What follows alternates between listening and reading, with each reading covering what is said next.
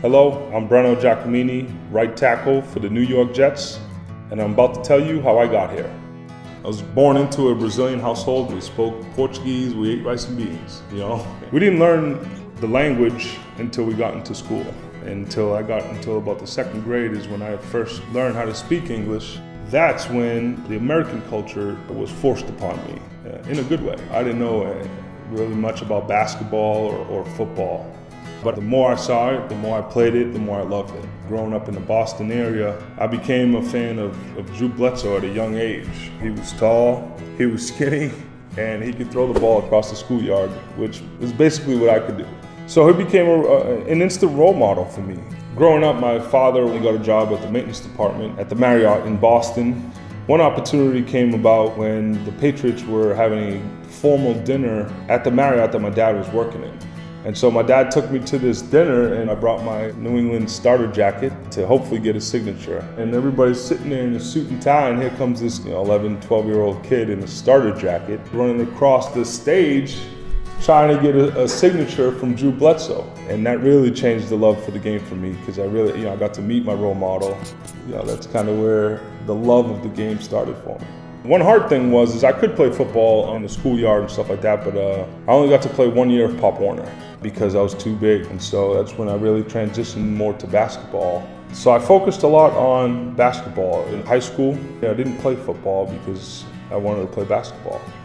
Finally, my senior year, the guys were harping on me to come back to play one more year. Just, you gotta play, this is our last year playing football. I gave it a shot, and my defensive coordinator, Coach Ray Bogus, told me that I could go play Division One football. I didn't even know what Division One meant at the time, okay? I had no idea how this was about to change my life. We made a football tape. It had one game on it. That was my best game ever. I mean, I, I think I had like four sacks, you know, a whole bunch of defensive plays. So we sent that game, and then the rest was basketball, you know, just to kind of show the athletic ability. Coach had one school in mind, and that was the University of Louisville. And we sent the tape down there, and I think maybe 30 minutes after they watched the tape, they called me up. Coach offered me a scholarship, and I said yes with a big smile on my face because I knew my mom and my dad were going to be extremely happy. Not only am I going to go to school, but it's going to be paid for. At the time, I didn't understand the platform that I had at the University of Louisville. You know, these kids growing up in Louisville, that's all they had. That was their pro team, you know. After a few years, I figured it out that these kids will listen to what I'm saying, and you know they might not listen to a teacher or a coach, but they'll listen to a university football player. So that's kind of where giving back to the community started for me. I was lucky enough to get drafted in the fifth round by the Green Bay Packers, and that's where my NFL journey started. Being drafted to Green Bay, I was a project.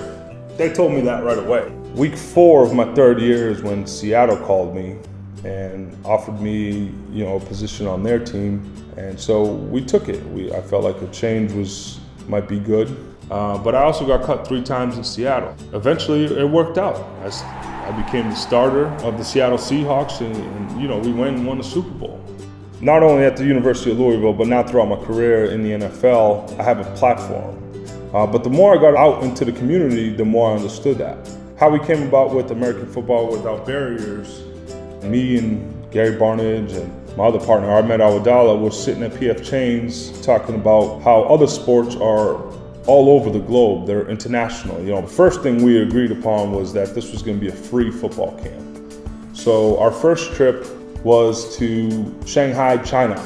We set up a combine drill one day, and, and these these kids were just true fans, fanatic about these combine drills. You know, China was a success.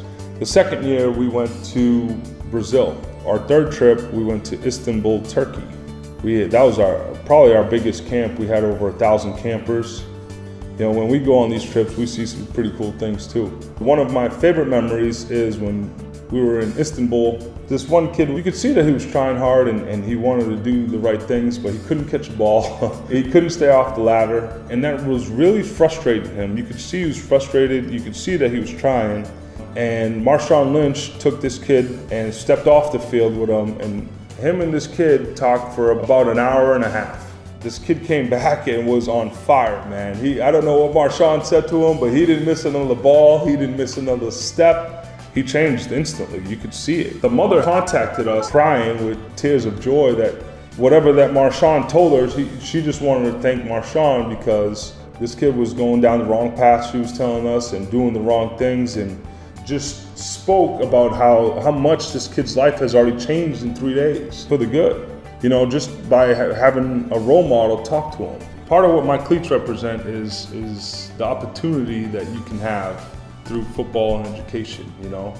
I've seen my daughter have all these opportunities and I want to change change the world through sport and education and see the smile that I see on my daughter's face and somebody else's face. You know, I, I could see it in my daughter and I, I, want that same feeling for for other kids too, you know, and so uh, my cleats represent a lot. In week 13, NFL players around the league will proudly display their charitable causes on their game day cleats. Learn more about these personal tributes at nfl.com slash my cause my cleats and on Whistle Sports.